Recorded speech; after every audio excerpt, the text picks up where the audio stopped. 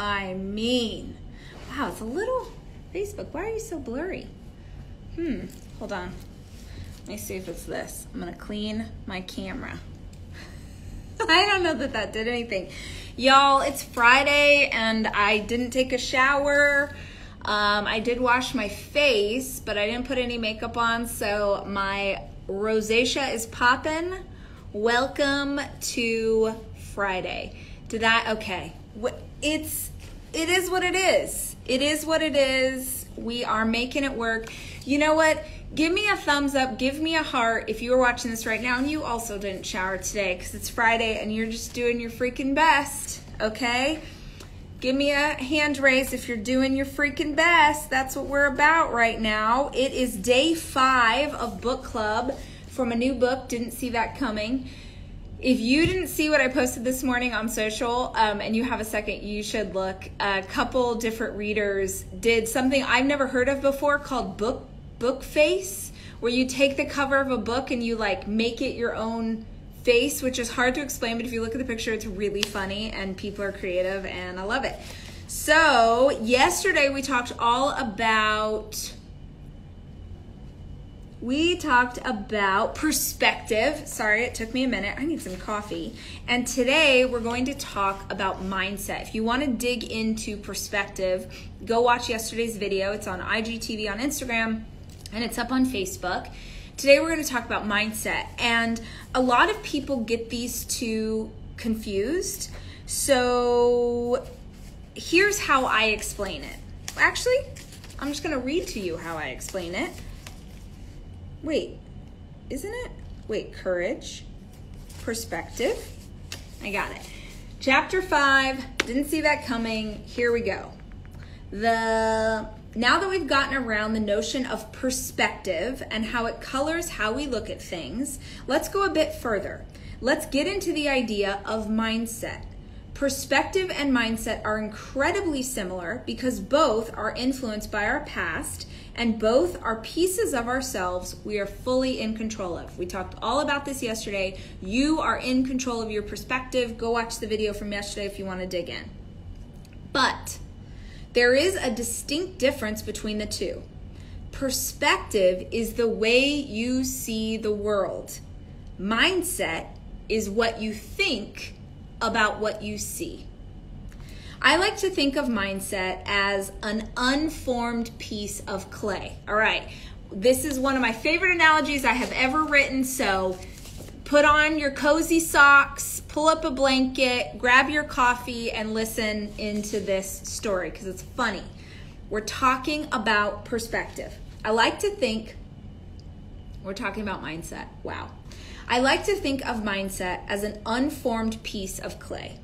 Personally, I don't have a ton of experience with pottery, save the one time in fifth grade art class when we were allowed to create something for Mother's Day. Each of us was given a blob of gray clay and tasked with turning it into anything, literally anything our 10 year old selves thought our mothers would love. I made a puffin.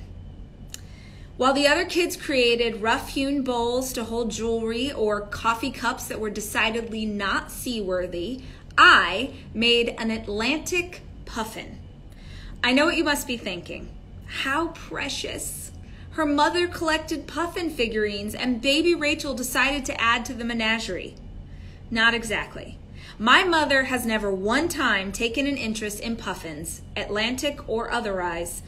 But fifth grade me had recently learned about them, and I wanted to try my hand at a faithful recreation. I was utterly captivated by their adorable squatty body and their multicolored beak. The piece turned out just darling. I'll admit. And my mother seemed to like it, but sadly, that is my single experience with personal pottery making. The only other knowledge I have on the subject I learned through Patrick Swayze. If you've never had the fortune of experiencing the movie Ghost, I'm sad for you because it was a masterpiece. Give me a heart or a thumbs up if you have seen the movie Ghost with Patrick Swayze, RIP, and Demi Moore and Whoopi fantastic. In that movie, Patrick Swayze is married to Demi Moore, and through a series of unfortunate events, he becomes a ghost and then teams up with Whoopi Goldberg to solve the mystery of his own death. That stuff is good. But the great moment, if you've seen it, you and I both know it's the scene at the potter's wheel. If memory serves me correctly, Demi is an artist and she's sitting with the wheel making something out of clay when Patrick comes up behind her and the Righteous Brothers start playing and Clay goes from PG to R rated real fast. It's epic, and I don't care what anybody says, nothing gets close to the panache of an R rated makeout scene from the 90s. Am I right? That's not the point, though. The focus of this story is on the unformed clay that Demi and Patrick are inappropriately manipulating on that wheel. That's what I want you to imagine when it comes to mindset. Okay, so we're talking about mindset today. We're on day five of book club from a new book. And I want you to think of your mindset as an unformed piece of clay. Stick with me. This is a really good example. Just stay with me. The absolute greatest book on this subject is by Carol Dweck. It's called Mindset. And please, please, please add it to your TBR pile. That means to be read for my non book nerds.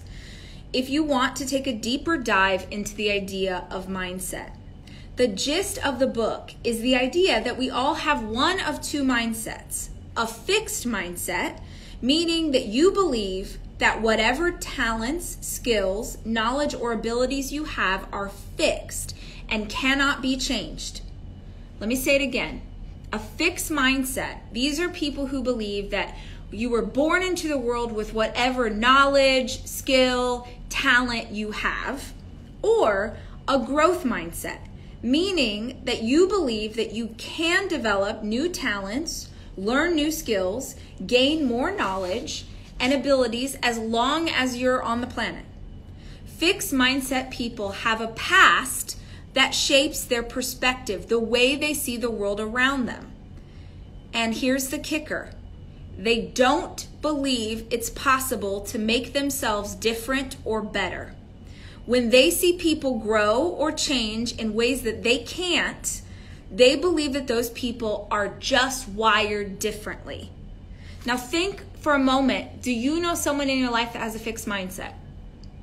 Your mama, your sister, your partner, your best friend. Maybe right now you're having a moment where you're like, oh crap, I have a fixed mindset, right? Do you have someone in your life that has a fixed mindset that believes that when other people succeed at something that they just they had more resources, they're wired differently, they they, you know, knew somebody who helped them. They don't understand that they are in control of their evolution. Um, let me get into growth mindset. Uh do do do do do Okay, so I go a lot into fixed mindset here, and I say this is fixed mindset. Imagine that clay again. Think of your mindset as a formless piece of clay, and this time, instead of to me, you're the potter. You're the one mushing it with your hands. If you need to imagine Patrick sitting behind you shirtless, go ahead. I won't ask questions. As you form it, that piece of clay becomes a vase or a coffee mug or a bowl or a puffin. You can work with it and turn it into any shape you imagine and then reform it into something new and different.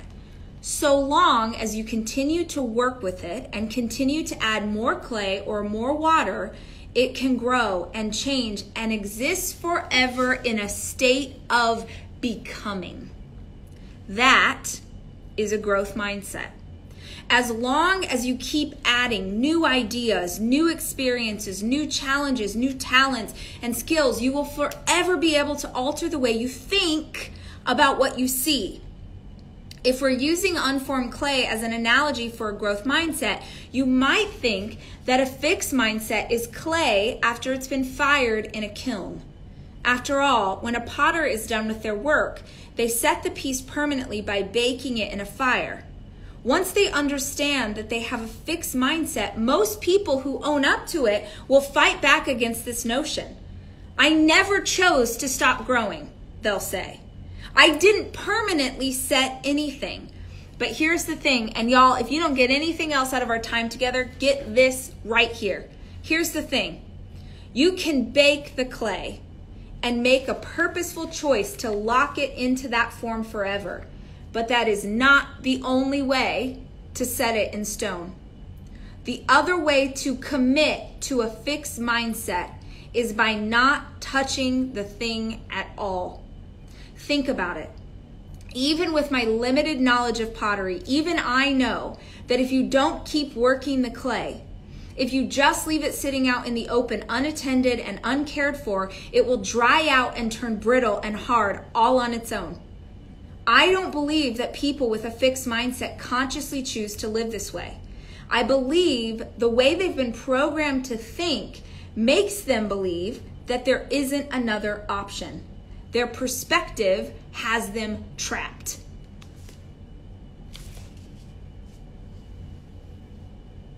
I don't know what that is.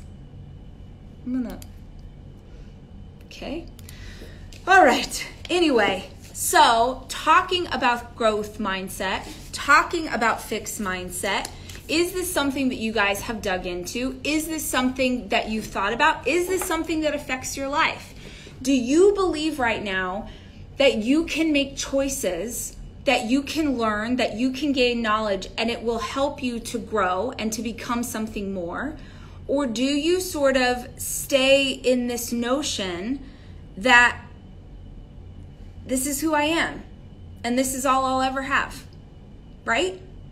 Where do you fall in this place? All right, I'm gonna see what y'all are what y'all are saying. Someone just said, "What book is this?" This is my new book. It's called Didn't See That Coming. But if you want to read on growth mindset, my absolute favorite thing on this subject is called Mindset by Carol Dweck. Um, someone just said, Yes, I have changed my mindset so much. What was the book? It's my new book. It's called Didn't See That Coming, but the book on mindset is called Mindset by Carol Dweck. Um, Alyssa just said, I see both sides. It's so hard to get out of my own head. A hundred percent. But even the knowledge that you can change is powerful because there are times where you can fall into the rut of believing things that you used to believe. But if you will go back just to the knowledge, you know what? I know there's another way. I know there are answers out there. I know there are resources. I know there are information. I know those things are out there. Even just the awareness that there is the possibility of change is incredibly empowering when you are feeling discouraged. Um, let's see. Um, Oh, I'm reading, I'm reading. Renee said, I believe there is more, but scared. Feeling scared of the possibility. Like, can we dig into that? Tell me what's scary. And, and I know, I, I appreciate Renee. I, I love when anybody on here speaks their truth because I think that there are other people who are thinking the same thing. So, what feels scary about the knowledge that there are answers out there? One of my favorite things to remind people just because this truly is the story of my life, of my success in business, of my success as an author.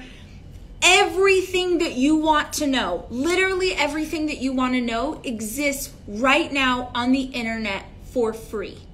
Everything. You, I, whatever, you could name anything that you do right now, you, teachers, police officers, people in the military, people with a side hustle, you own a bakery, you want to be better at barbecue, like literally anything that you want to know how to improve in right now on the internet for free that information exists. So then that tells me like at, conference i'll do this a lot where i'll be like who knows that that's true? Raise your hand if you know that it's true that this information exists on the internet for free and everybody raises their hand. So then my response to that is okay, keep your hand up if you know that the information is out there, you know that it's free, and you actively pursue it every single day. And 98% of the people in the room drop their hand. And I then my follow up is like, okay, so your lack of knowledge is a choice. So you choose to stay here. So you choose to stay stuck. You choose to say, if you know, I didn't say it, you said it. You said that you know that the information is out there. You said that you know it won't cost you any money. You know that that's true, but you spend all the extra time that you have in a day scrolling on Instagram or fighting people over politics or, you know, watching Netflix. And that's okay. There are times and seasons to rest and recuperate, but that's not what we're talking about here. We're talking about those of you who want to change your life. Your heart calls you to something else. You know that there's something else out there for you, right? So if you know that it's out there and you know that it's free, and even if you only have 30 minutes a day to pursue that information, why don't you go do it? So Renee says, you know, it feels scary, right? That's real. Let's talk about the fear. Because one of the things I know to be true is that if you will remove, like if you just talk about what you're afraid of, you can take the fear away from it. If you can just say it out into the world, like, oh, I'm afraid of this thing, I'm afraid of that, I don't know what will happen. Today we're talking about mindset. Someone's like, what are we talking about? We're talking about mindset. So tell me, be honest, I'm watching Facebook comments, I'm watching Instagram comments. What about this feels scary? Because I can come up with 27 different ways to motivate you guys in this area, but I need to know what it is specifically that you, okay, great, great place to start. Overwhelming with all of the online information. You're right, it is overwhelming. I like to think of this now. Y'all got to know that I grew up without any money. And so most of my life, if I was wearing clothes to school, they were hand me downs or they were things that we bought from the Goodwill. So I don't care. I'm 37 years old. I've worked my freaking butt off. I am incredibly lucky. I'm incredibly privileged. I have resources now. I could shop wherever. I freaking love Goodwill. I will shop at Goodwill until I die. I do not care how much money. I love it.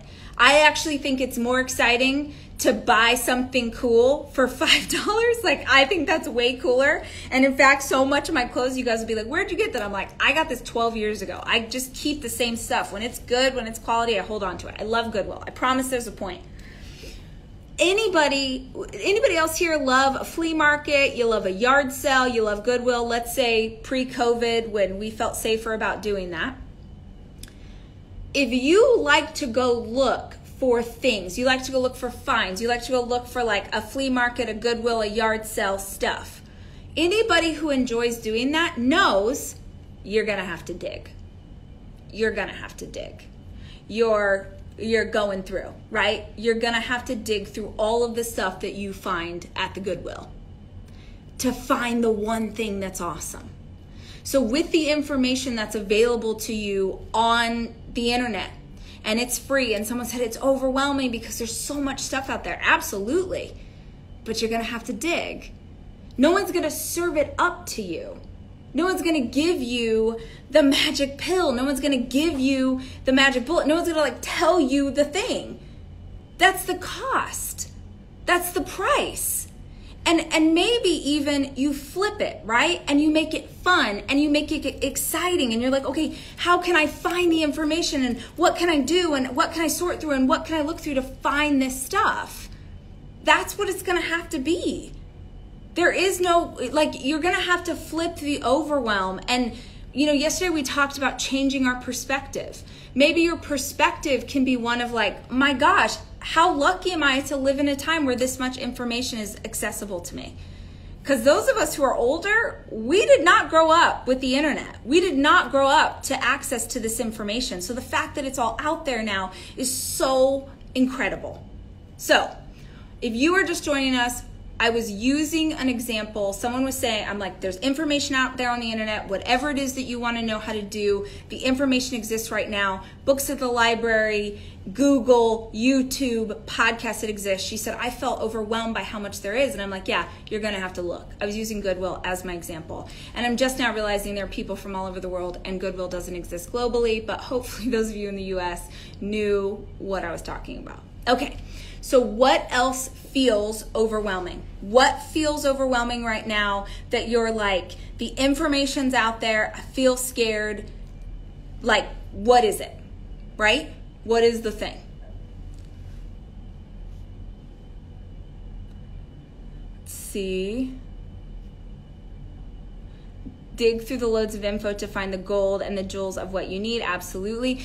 The other thing is that once you find information, you're going to have to test it. You're to have to test that information and see which things work for you, right? Okay, what else? I'm to dig through here. Mm. Lots of people love it on the Goodwill. Thank you. I'm glad I'm not the only one. Um, the possibility of failing and hurting people around me. Okay, so who's afraid of failure?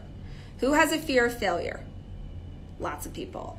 Um, and I want to understand this too. Um, let's see. Fear of failure. Oh my gosh. I just lost you. What'd you say? Oh, Rachel. Rachel Gonzalez said the possibility of failing and hurting people around me. Can we be real right now, Rachel? Why would your failure affect other people? I can only think of one way that your failure would affect other people, and that's financial.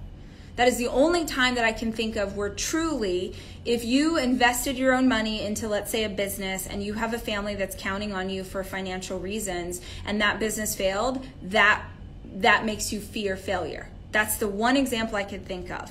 So let me talk about the other. If it's not that, then this is a story you're telling yourself in your own mind. Because if you're pursuing something that doesn't affect your finances and therefore can't affect other people around you, then then the fail the fear of failure you have is a made up story you have in your own head or you're living your life trying to please other people, which is a recipe for disaster. Right?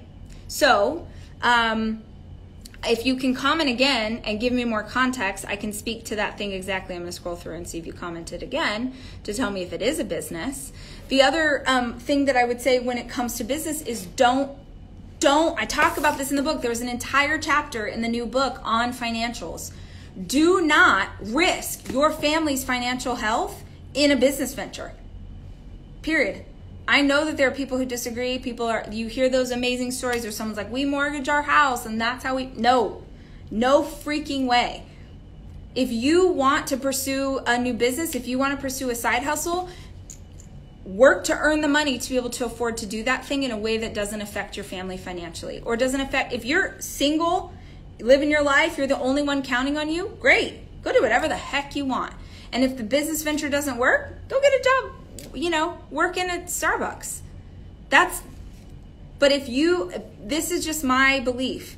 If you want to start a business, if you want to start a side hustle, I hate when people, they're like, well, Rachel, you said to dream big. Rachel, you said to call your shot and go. Yeah, but never, never at the detriment of your family. Never, never, never. If I wanted to go start a side business or a side hustle, I'd go get a side job to be able to afford. I mean, this is how I started my company. I got a, a side job and I saved the money in order to be able to do the thing until I could quit my job. And then I used the money and started my business. So, all right. Um, let's see. I'm reading. I'm reading.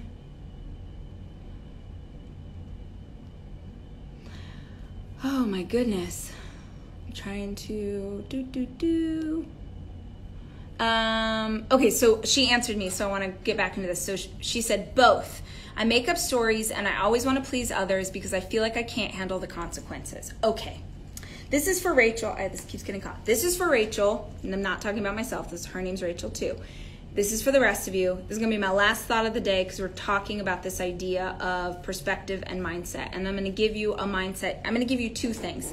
Because a lot of times the people who follow me are people who are entrepreneurs, dreamers, you want to have a book, you want to have a podcast, you have a platform, you're sort of wanting to see how to elevate that, or you want to like bring things into your life. Great. So, this is who I'm speaking to right now. Let me tell you two things that I know to be true. Rachel, number one, you are not going to create anything from a scarcity mindset. A scarcity mindset is operating out of a place of nothing works, everything's hard, there's no money, there's no customers, we're in COVID, um, you know, there everyone's in tr- like that mindset and and parts of that you guys there are parts of that that are real uh, we're in a recession millions of people are out of work so many people are struggling financially like those things are real But if you are a business owner, for real, listen to me. If you are a business owner right now and that is the only thing that you focus on, you are you're in trouble. You have to look at where you want to go. You have to stay in the space. Like I was talking to my finance guy yesterday and I'm like, I always want to know what's real. But even when things are hard financially, I can't exist in that space. Because if I exist in like, oh man, COVID and like things are different and it's harder and whatever, I will never be able to grow. I will never be able to do anything. It will paralyze you, Rachel. If you're just joining me, I am not talking to myself. I'm talking to someone on Facebook named Rachel. You have to focus on where you want to go. You have to focus on the like where am I headed to? Right? Where am I headed to? Not not what is, but what do I believe is possible? Because if you wake up every day, let's say you're doing you're selling things online, you're selling product online. And you wake up every day and you're like, there are no customers. Nobody wants the stuff in my Etsy store. Nobody wants anything in my jane.com store. Nobody nobody wants what I'm selling. Look, I'm looking at my Shopify, further proof. Nobody wants anything that I've got. Okay? That's one way to show up. And you the other ways that you wake up in the morning, you're like, there are customers out there. Someone wants this quilt. I made this quilt. I made this screen print tee. I made this coffee mug. There are people right now all over this country. Hundreds of thousands of people are going to buy a coffee mug today. Why not buy the coffee mug for me? So if someone's going to buy a coffee mug, I just got to get it out into the world. I got to let them know. I got to talk about it on social. I got to create a blog post. I got to watch a thing on how to do Pinterest better. Maybe I'm going to make a YouTube like if you are in a, a, a, space, if you focus on abundance, if you focus on the possibility, what could be, that is when it's you have the potential to see possibility. Uh, uh, this is where I think people get it so wrong. They they hear me being positive. Sorry, I'm moving shaking this thing. They hear me being positive and they're like, "You don't see life as it really is." I'm like, "No, girl. I for real see life as it is." But I also know that I have kids counting on me and I have a team of people counting on me to show up and do this work. And so I have to exist in a place of possibility because from a place of possibility, you can see the opportunities that are there. And Rachel, if you wake up every day and you're like, oh man, I'm gonna let this person down, I'm gonna lose the money, I'm not gonna find any clients, I'm not gonna be able to sell the thing, I'm not, you will create that reality. It, it just is. I think it's like I think it's Confucius. I think it's that old. Like whether you think you can or you think you can't, you're right. So you have to start every single day with the mindset and like a lot of times Gretchen Rubin has this quote that I love. She says act the way you want to feel. Act the way you want to feel. And so if you wake up in the morning and you don't have the right mindset for the life that you want to have, the company you want to create, the book you want to write, the words that you want to speak, act like it. This is the one time where I think faking it till you make it is real. Fake like the kind, like be that in your own mind, not to anybody else. You don't have to put it out in the world, but to your own mind. You're like, okay, girl, what's up? What's the possibility? You know how often I talk to myself in the mirror? I coach myself all the time. Because you guys, for real, this is any of you, any of you right now who are in business, and who use social media or the internet to be in business. Oh man, I'm, I'm going over as per usual, and I think I have to go because I have a podcast interview, but let me finish this thought. Any of you who are trying to create something using the internet or social right now, you are going to have to get a thick skin. You're going to have to be okay with people not liking you. You're to have to get over your people pleasing tendencies. If you want to do this work, you want to grow your company, you want to find your community, you want to change the world, you're going to have to get over the fact that people don't like you. Because now the world is wired, wired to look for problems, wired to comment with mean things, wired. I was talking yesterday, I did an interview with a YouTube gamer like this really big gamer for my new podcast, which is so fun. It's all like celebrity interviews. It's so much fun and I'm talking to people and they're sharing things that I don't know anything about. So I was talking to a YouTube gamer and he's talking about what it is to be a gamer at this level. And he's one of the biggest in the world, like massively successful. And so I'm talking to him about social media and like comments and how does he navigate that, whatever. And he was like, oh man, it is so hard. He's like, most of the time I'm fine, but some days I get on there. And he's not 12, he's a grown man. And he's like, some days I get on there and like people are so mean and they're writing such hateful things and they're cussing me out. And like it just has become the trend to look for awful, right? But he's like, but if I don't, if I'm not there, then I can't interact with the people who are there who want to know about the video game or who want to play with me or who want to like see the thing that I'm creating. So it's the price of admission. So if you want to be able to do things in the world or grow in whatever way you want, you are gonna have to be okay. You're and it it takes every day. Act. Yep, I'm here. I'm still showing up. I'm still doing this thing. That's what it is. You get to choose your mindset. Okay. It was a very long winded conversation about mindset, guys.